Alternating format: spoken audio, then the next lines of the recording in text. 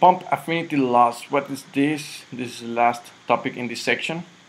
So imagine there is no data in this diagram. We have this diagram, we've been working with it, and imagine I ask you this. If we increase the flow rate to 800 gallons per minute, well, we, what will be the power? So 800, I don't have it, I only have 640. So 800 is going to be here. And as you can see, that's not normal operation of the pump. But imagine you only have that pump and you want to see if it is possible to work with this. Or imagine we want to try an experimental 10 inch diameter impeller.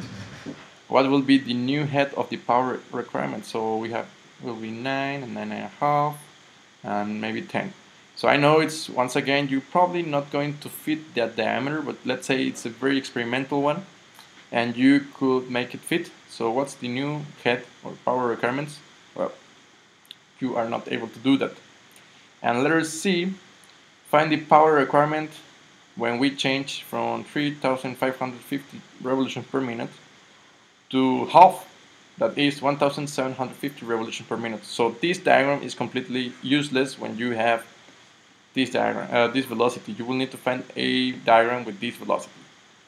So what do we do? What can we do? Well, that is the point of a pump affinity laws. We will find many data which can help us to relate, for example, what is the new flow rate given the change on diameter, the change on power or velocity in revolution per minute. Also, what if I change the diameter, what's going to change? Of course, of course, volumetric flow rate is going to change, and if volumetric flow rate changes, power changes, and so on. And how is power affected when you change it? For example, in the last example, from 3,500 to 1,700. What is the effect of power? Is it going to be more or less? That's a good question. And this is good because there are no data in the diagram. We're going to need to use these equations. And as you can see, guys, we have volumetric flow rate, diameter, power, system head, and angular velocity. And as you can see, normally as the volumetric flow rate goes directly proportional to the change or ratio on diameters, to the second power for that of the head, and to the third power to that of the power.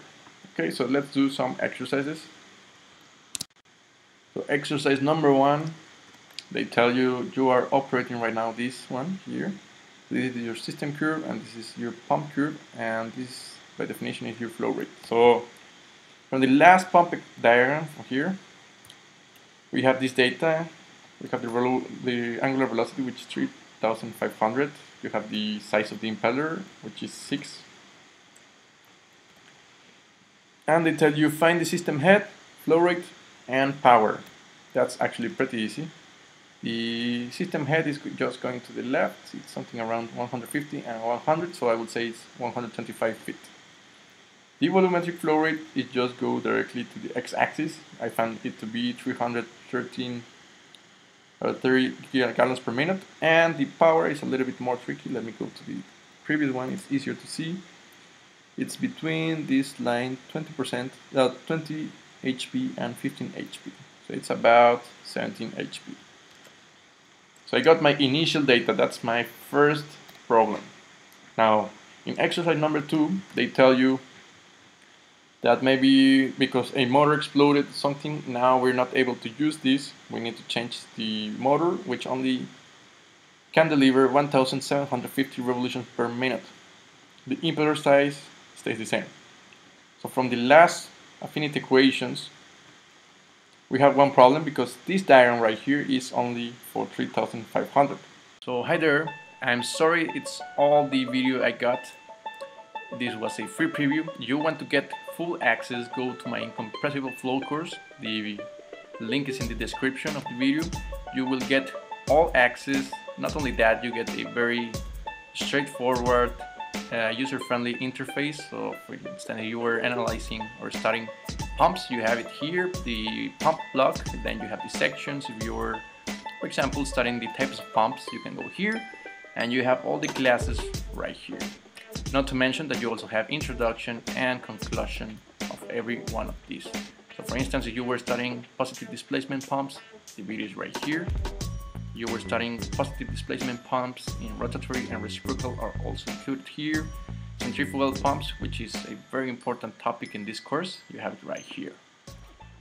We have no data for the 1000, so this won't work. We will need to use affinity law. And yes, we use this angular velocity, angular velocity, and angular velocity. They ask us to find the system head, which is this one right here, and the flow rate, which is this one right here. So let's do it. This is to the second power, so I just plug in numbers and search or solve for the system head in the new arrangement. I got 30 feet, which is way less than this, and it makes sense because you're lowering the velocity, you're going to have less head. Now for the flow rate, that's almost proportional. We get proportion to this and this, and I find out that I'm going to lower my flow rate. That makes sense because I'm lowering the speed. So if I lower the speed, there are less revolutions, and recall that each revolution per minute is going to be give, give me one volume per time, unit time. So if I decrease it, I'm going to decrease volumetric flow rate. So let's continue with exercise number three. Let's change the, well, revolution per minute to stay the same. The impeller changes from 6 to 12.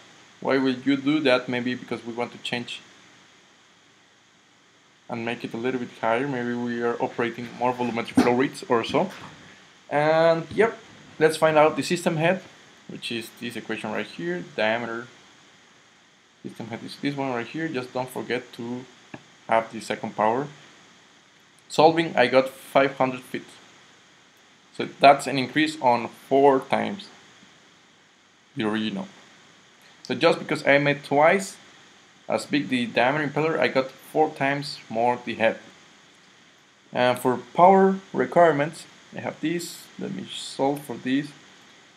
Well, so previously I got 17 and now I got 8 times more requirements of power.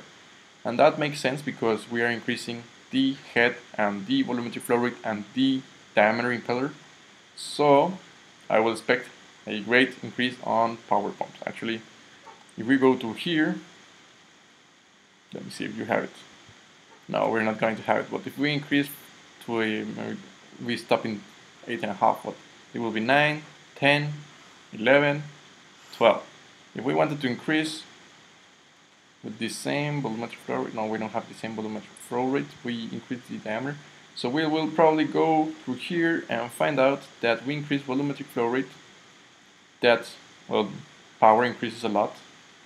And what else do we, and that the head is four times more, so expect a little bit more. we had 100 something, now it's going to be 400, which is the value we calculated, now 500 was the value.